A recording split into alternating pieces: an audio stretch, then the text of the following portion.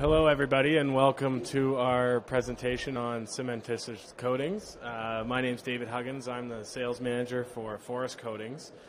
Uh, Forest Coatings is an applicator and distributor and supplier of Terraco Group finishing materials based out of Sweden. And uh, we're here to focus on mixing procedures and substrate preparation in order for our repairs to work. Uh, it doesn't matter how good the material is if you haven't prepped the surface properly and, and mixed it properly, uh, you're probably going to have a, uh, a short-term repair. Um, like to welcome. I've got friends, we've got customers, uh, we've got our partner from uh, Terraco China here with us, Steve Edgel in the back. Um, all, all, our materials are green, they're easy to use. Uh, we don't have any admixtures at the moment, but we'll be uh, working on that. So, small batch mixing is what we do. Uh, some of our customers include Brookfield Asset Management, TTC, Timber Creek Asset Management, Verity Alliance Restoration, uh, New Site Waterproofing, who's here, and Bothwell Accurate, among others. Uh, our website has lots of projects that we've done. If you have any questions, we'll hopefully have some time at the end. If not, we're in booth 1005. We welcome you to visit us there, or right after the show, uh, we'd be happy to answer questions and get our emails. We're eager to talk to architects, engineers, spec writers, contractors, and uh, asset owners to understand life cycle around repairs because we see a, a big industry out there. Uh, I'm going to pass it over to Bill and Nathan. They're our application specialists, and they're going to run you through uh, a typical situation we face. Thank you. Hi, how y'all doing? Trust everyone's having a good time at the show. All right. As Dave said, we're going to run through a typical situation, but you know what? There never is a typical situation when it comes to repair. Okay? Before we can do any of the mixing and application on this, the first thing you have to do is prepare the substrate that you're going to be dealing with. Now, we do a lot of underground garages. We've done elevator pits. We've done foundations and houses. They're all different. They all have little secrets to hide. When you're looking at it, you're basically going to be looking at the, the floor, the ceiling, and the wall, and the joints going around, and the corners. That's the first thing you got to see. Next thing you're going to look at is all the fine cracks going around. What do they have to hide? Right? Well, initially when we prep, uh, we're looking at a crack, we're going to chip it out. Right? We want to get about an inch deep, an inch wide, so we can put in our water plug and get a good seal. Do we avoid cracks and, and let look, cracks go? No. Why? Because like I said, cracks have things to hide, not Doritos. I'm talking chairs. These little things came out of the cracks in the ceiling. Little fine crack, you could hardly, not even an eighth of an inch wide, were hiding these. Now what happens is, the water coming from a failed membrane above is going to go along the rebar, out through the crack, down onto the floor, or onto the car, or into the house, whatever, right?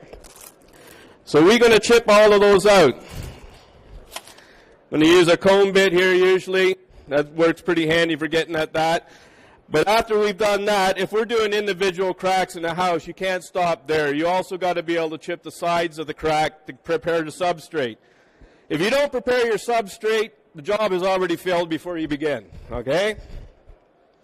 What do we use for that? Well, we will hit it with a bushing tool. The very important thing is to get off the foreign substances, oils, loose dirt, paint, what have you. Okay? Done that, we chip it out, clear it. Then we're going to hit it with the water hose, get all the loose debris off, right? Now, what we have here, as I mentioned, we have a, uh, a typical crack, non-typical, but in this case a crack. But what we're going to do is we're going to make this a live leak. Live leak, in other words, there's water coming in. We got to stop that before we can go on to the next process, okay? Nate is going to mix up some material here because he discovered this live leak. He better hurry up or the house is going to flood. What he's mixing up is our uh, water plug. He's going to use there about 500 milliliters of the water plug, about 200 milliliters of water. This stuff is fast acting. It hardens in two minutes. In one month, it's got a 36 MPa rating, so it's very strong. You don't have much time to work with it, so we mix it up in tiny batches. You can use this stuff when the water is getting out. You could even use it underwater if you want. If there's something underwater, I'd send Nate down to deal with it because I hate swimming. You ready to go? All right, so all of a sudden we have our leak coming through. There you can see the water coming. Nate's mixed up the product. Now this stuff will dry varying on the ambient temperature. If it's really warm, it dries a lot quicker. Do he's going to plug it in there. He's going to hold it into place. You, as you can see, there's a lot of water coming in there. This person has a lot of troubles. How many people have that in their foundation? Water coming in, you don't know what to do about it, right?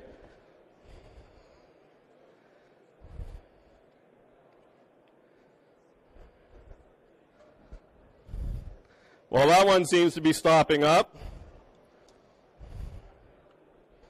He's going to press it in there, make sure it's pressed and nice and firm because we want to get a good bomb on all surfaces. And then after he's done that, he still has a little bit of time to scrape off the access. Not much, mind you.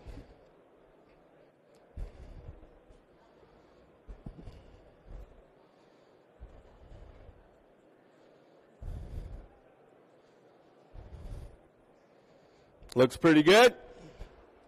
But you know, as all things are,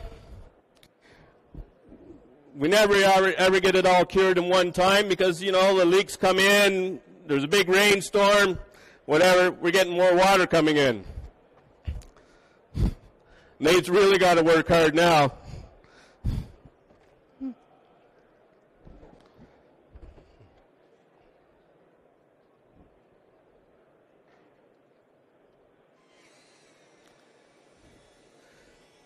When this stuff is drying or curing, it actually kicks off some heat, right?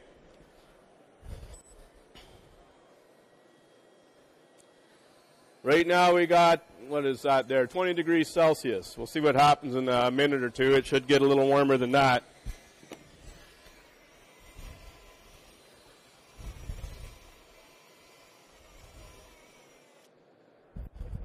How you doing? You ready there?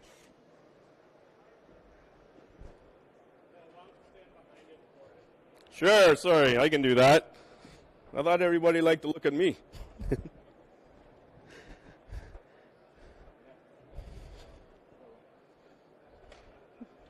As I said, sometimes with this stuff, depending on the ambient temperature, it reacts differently. Sometimes you'll mix it, it'll be quick. Other times you got to wait a minute or two.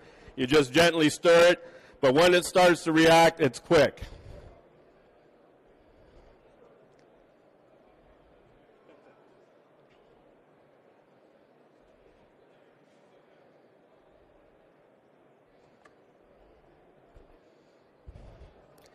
All right, let's go for a big leak.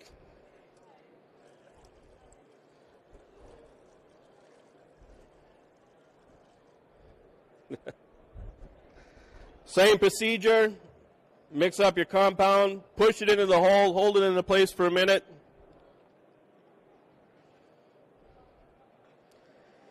Now, as you can see, this is pretty convenient though small hole, one batch does all, right? What happens if you have something a lot bigger than that? It's no problem. All you would do is mix up little batches at a time. You put one into the hole, and you just build upon that, right? Until you've got the leak stopped. I've done uh, repairs where we've done uh, storm drain pipes coming in that were this big around, and I had it chipped out about like that, about yay deep. It took um, 15 kg of this material to fill it, but I just constantly kept putting the stuff in. Because it dries so quickly, you don't have to wait around. Now, we got a little present here. I wouldn't eat it. I'm going to wait a second here. This is actually going to start to cure up and harden. When it hardens, it's going to start giving off the heat that I've been talking about. I'd also like to mention, which I failed to do at the beginning, Nate's wearing his personal protection equipment. In this case, he's got his covers all on so he doesn't mess himself up. He's wearing a mask. He's got his eye goggles on. This is a green product, but we still respect safety and watch for the dust from the material when you're mixing it up. Right? And he's got his uh, safety boots on in case someone comes by and steps on him when we drop this thing on his toe, right? Okay. If you don't mind a little bit of dust, this is actually starting to harden up. You can pass it around. It'll, by the time it gets over there, it should be white hot. Now, we look at this. We stopped all our live leaks in this certain area. We're going to move on to the next part. The next part is using the crystalline. I'm sure you've all heard of crystalline by now. You've been walking around talking to people. Crystalline is a product that reacts with the wet components in the concrete, especially lime. What it does is it's going to build up some crystals inside and fill the capillaries. All right? The beauty about the crystalline is when you put it on, it migrates into the concrete and it keeps going. If it's wet, it'll keep going through that and it won't stop until it gets through to the other side of the concrete. What we're going to do in this, we're going to coat this whole thing with it. Normally, when we put this stuff on, we put two coats, and then we're going to put something on to keep the hydration in. Because typically with crystalline, you have to keep it hydrated for seven days, right? You're spraying it or putting a poly on. Well, we don't want to do that because we want to get in there and we want to get out. Can't be hand, sitting around watching crystalline. So what we do is we put on our weather coat. Our weather coat is um, powder resin based products such as this that we're going to coat over the crystalline after it's surface saturated dry. It dries in about two hours. We can leave. What happens with a weather coat is it's breathable. It's going to allow the water, the air to get up, but not the water vapors. It's going to keep the crystalline hydrated. It needs to be hydrated about seven days, so this will do that. then the crystalline starts to do its job. One thing about crystalline is it's always working. You get freeze thaw effects in the spring. You get a lot of water coming in, leaks. It hits the crystalline that's now in the, the foundation or into that block. It reacts, starts making more crystals. You get August, all of a sudden it's dry, there's no water. What happens to the crystalline? It goes dormant. But it's still there. It's not deteriorating, it's just dormant. You get another uh, wet cycle coming, more water, the water table is a lot higher. It hits that crystalline that's impregnated in the block, it reactivates. And it's going to work again. This stuff never stops working. It's always there. By the time everything's said and done, this crystalline will have waterproofed your entire foundation and block wall, it doesn't matter. But why would you put a water coating on that you have to rely on the film to have it so it doesn't delaminate when you can use something like this that's going to make your whole structure waterproof? Right? As you see here, Nate spraying, putting this on. We put this on, we either use a brush or a roller. We don't spray it on because it's a reactive product. We don't have much time to work with it, about an hour. And if you're using spray equipment, it's not really conducive because it's going to clog up your gun. But as you can see, it brushes on fairly easy.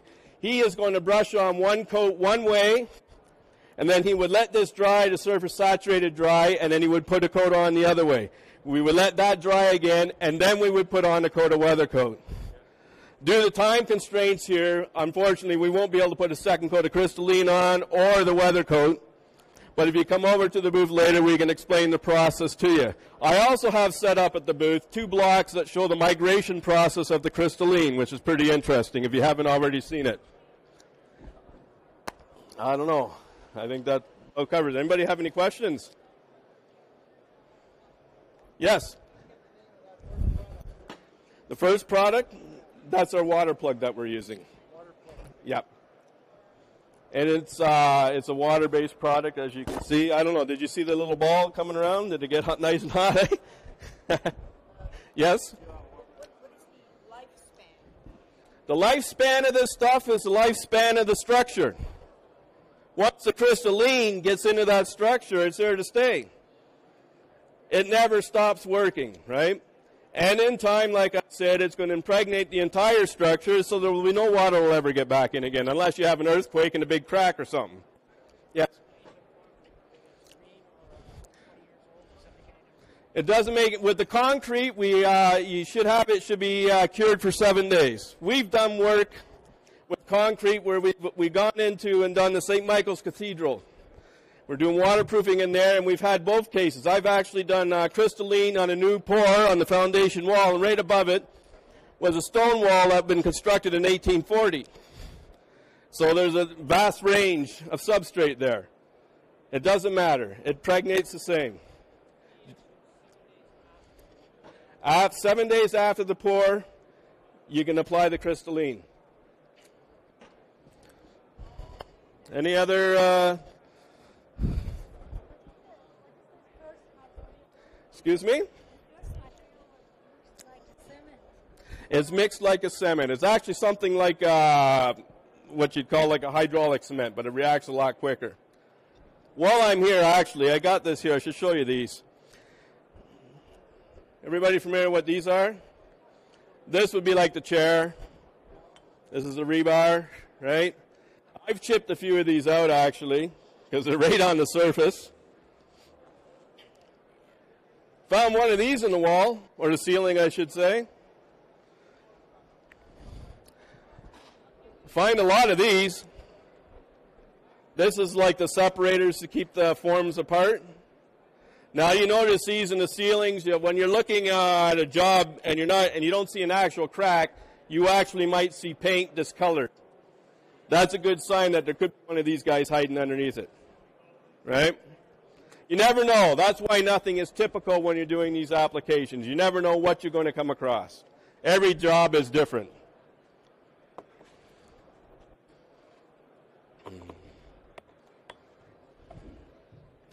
I guess. Uh, maybe I'll welcome uh, Steve Edgel up from Terraco Group, uh, and he can tell, give you a few words about our uh, supplier uh, based in Sweden, and uh, he runs the manufacturing facility in China and he can he can tell you a little bit about Terraco Group and what Good stuff. what they're up to. Good stuff. Yep. Hello, everybody. Yes, uh, Terraco Group was started roughly 30 years ago in Sweden and Jordan in the Middle East. Since then, we've expanded to 18 manufacturing plants worldwide and 32 sales offices when we were looking at the Canadian market, we were looking for a partner we could trust that understood the engineering side of waterproofing. And we teamed up with Forest Coatings and we've introduced these products. And as well as Canada, we sell all over the world. I'm based in China where we have two factories currently. Uh, any questions about Terraco? It's We've always been a green company since we began. We've never produced anything using solvent or environmentally unfriendly materials. It was always the ethos of the company to be a green company, and these products follow that ideal. Okay, Dave. Thank you, Steve. Um, so the other thing we're looking for is is to understand more uh, in the engineering and architect and specifier community around uh, cementitious coatings and be. We, we are not engineers. Uh, we're having a lot of performance based success out in the market, uh, but we want to uh, work with leading architects, engineers, spec writers, and contractors. Uh, we know the, there's a big market out there for contractors to use this material. Um, I'm getting heavily involved with the uh, International Concrete Restoration Institute uh, as well as uh, American Concrete Institute, who have done a great job around best practices for surface prep and material selection. Uh, so you'll be uh, hearing a lot about that uh, over the coming year. Um, and so we're our, our, office and warehouse is in Burlington. I've got an office downtown. We've actually done probably seven or eight different projects within a 20 minute walk of here, including track level at Union Station for TTC, uh, head wall at Union Station for EllisDon and TTC, uh, parking garage in Brookfield Place uh, with Verity Alliance and Engineering Link. Uh, we've got a host of success, su- successful projects out there. Uh, we did an elevator pit for TTC at Yonge and Finch. Um, and a lot of our success right now is where there's you can't dig on the outside, and there's high hydrostatic pressure. Um, so there's not many alternatives. It's a lot easier for us to work where there's an active leak because usually you need to solve it yesterday. Uh, but we are going to get in, go down the path of new construction and, and positive side waterproofing as well. Uh, any other questions out there? Okay, thank you for attending. We're in booth 1005. We'll be there for the rest of the show and tomorrow.